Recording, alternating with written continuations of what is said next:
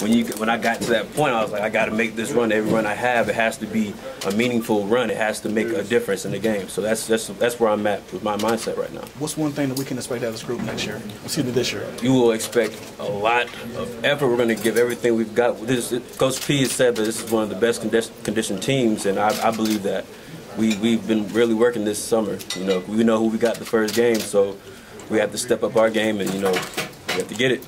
All right, good luck, bro. What's the Appreciate competition like at running back now? Competition, pretty tough. Uh, we got a lot of fast guys. We got guys who are strong like Tobias. So you look at Tobias and like, wow, he plays running back. So uh, you know, our our group is very versatile and uh, we can do a lot of things. Coaches said that the run defense needs to improve, and that's been a big emphasis. What have you seen from those guys going against Travis? Well, yesterday they, they were the defense was honest. They, they were fast to the ball, running to the ball. So today we have to pick that up, and the next day I'm glad the defense did that so they can show us that we're not to where we need to be right now. We need to we still have room to improve, and uh, that's what we're going to do. Last year, or the last two years, you know, the, Lamar did a lot of the the running um, what are you guys looking at this year? Are you trying to kind of That is true. Lamar did do a lot of the running, yeah. but uh, in practice, running backs run a lot as well. Uh, and, and and now this year, we're going to be able to see what we can do, and, and we're just going to run till we just can't run no more. So we're just going to run for touchdown. We're gonna run. That's, that's, what we do. We're running backs. We're gonna run. What is your What do you bring to the table? You think as far as your I bring, style and so forth? I bring leadership uh, as far as football. I think I bring you know experience of being in the offense and knowing where the holes are gonna be. Uh, knowing my blockers and knowing their style of blocking and who's gonna, you know, I know if Mekhi's coming around on the pool, I know he's gonna knock that guy out the hole, and I'm gonna have a hole right there. So, and that's that's just with anybody on the whole old line. So, we have a strong goal line. So. I came up a little bit late, but you were talking talking about, I guess, um, in being injured and not getting to play as much and so on and so forth. So trying to make up for lost time a little bit, I guess. Yes, sir. Definitely, definitely. I mean, injuries is part of the game. Uh, you just have to fight through them. You, you, can't just, you know, get hurt and just think, oh, I'm gonna take this day off. You have to constantly keep working and rehabbing and, and just try to better yourself. Yeah.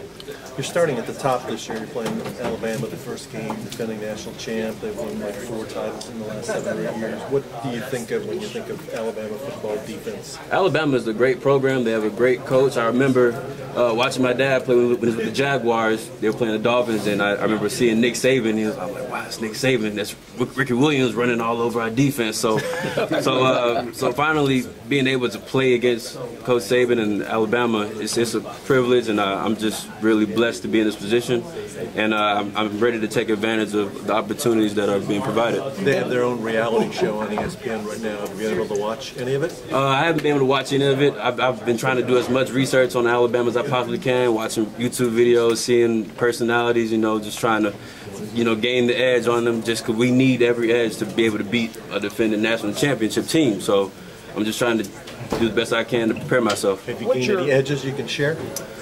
Uh, if I did, I'm not gonna share them. So uh, I, I, need, I'm gonna need that for the game. But uh, you, you, will definitely see game day. So I'm just gonna keep that to myself right now. How's, how do you feel about? Would you rather have a easier opener than Alabama, or how do you feel about? I, I, would not. This, this is what you dream for when you come to college. This, this is why I came to Louisville. This is why I wanted Coach Petrino to be my coach because I know he's going to come out aggressive, and I know we're going to play the top team. So this is this is the best you can get. I guess if you play against them, I'm sure you can play. Yes, sir. Yeah, and, and it's a great confidence booster because once you, because you, you instantly probably going to get better playing against Alabama because that's the no top, matter top what, of the chain. win or lose. No matter. I mean, what? Well, I'm trying to win. So there, there is no lose. There is no win or lose. I'm trying to win. So to take losing out of the out of the yeah, proportion. Yes, sir. So you were talking about uh, following Mekhi coming out pulling, and mm. and you knew he was going to hit some. So you, when you play behind a, a, good offensive line like we hope you got, yes, sir. you kind of wait for something to happen in front of you. Am I right about uh, that? And you kind of look for Well, not wait. You just have to let the, the play to develop, and you just have to know the play in and out and how it's being blocked, and you got to just know when to hit it. If you just can't run full speed and outrun them, you can't go too slow, and you might miss the hole. So you just got to time it up perfectly. So when you got a good offensive line, you can anticipate it's going to happen next. Oh yes, sir. Yes, sir. I mean, just just with any offensive line, you just got to have the will to go do it. it. No, it doesn't matter if you're good or bad. If you're, you're bad, if you got the effort, you can get through the line regardless. So we just got to provide that effort. You know, just try to win the game. Just get down the field as fast as possible. What do you say your mindset is going in?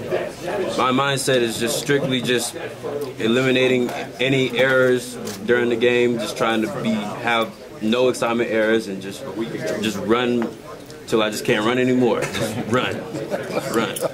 Has Coach Petrino talked to you guys about it? Is he looking for one guy to kind of take over the backfield? Is he looking to rotate guys in and, and play who's got the hot hand? Well, we have a lot of athletic running backs in our stable, so it's it's it, it could easily go, you know, me and then Cole and Dave. You can see Dave, Cole and me. So it, it's just a lot of versatile. You can see Tobias in there. We're just a versatile group, and we all bring something different to the table. So you can see a lot of different things. You think of yourself as a patient runner? I look at myself as a balanced runner. I, I do. I know some people will say I may not have the speed for it, but sometimes it's not all about speed. Sometimes you need to be patient to hit the hole. Sometimes you do need to get that extra ump to get through that hole. So uh, I think it's just it's depending on the play. So you just got to really know and understand what you're doing out there. Do you get much advice from your dad? I get a lot of advice from my dad. I mean, why not? Because he's been there before. So why not listen to him? So What are what are some of the things you can remember that he has told you that you think helped? Uh, well, it's we play two different positions, so like it's, Right, it's right. not much we can really, you know, besides like effort. But uh, I mean, just I mean, I've talked to Fred Taylor. Maybe mentally. Yeah, so and, and he's given me a, a good couple pointers the last couple times I talked to him. So, I mean, I, I'm just trying to, you know, just be a, a cushion, just absorb all the information I can get from the from the greats and the legends, and hopefully it'll help me out in the end. What was the uh, Fred Taylor advice? Fred Taylor, he told me just to always keep your pads square, you know, keep, you know, do type of stretches that will keep your hips loose and just help you be a more explosive running back. Uh, we talked about different types of reads on different plays, so he, he, he helped me a lot that time we talked. I Has he was seen you play? He has seen me play, he has seen me play. So was this advice that he gave you after a game or? Uh, I think it was after a spring game, I want to say. Yeah, after a spring game, I think last year. I would assume your dad when he talks to you, it's, it's more about the mental part of it. Yeah, so, Since yeah, the did me- get- mental part. Yeah, my dad helps me out with, with the mental part of it. Just, you know, he went through it, so you just got to, you know, keep your head down, keep working, watch film, watch, watch what guys like Ezekiel Elliott are doing, watch how they're hitting holes. So that, that's just really helped me out. I spent pretty much the whole summer just watching different running backs from Leonard Fournette. Oh, did you? just, just, just trying to figure out another edge to really help me get over, to be a better player. pro running back. Yes, sir. Pro running back, yes, sir. What kind of opportunity do you see for, for the running backs to really define this offense now? Yes, a lot of people don't know the experience. We, we don't have that much experience in the running back position, but uh, that's that's about to change. Uh, people are saying that we're not experienced, that's going to hurt us, but we, we, we know what we got, so we're just going to you know do what we know and just make the best of it. Okay. We know where you live. All the guys.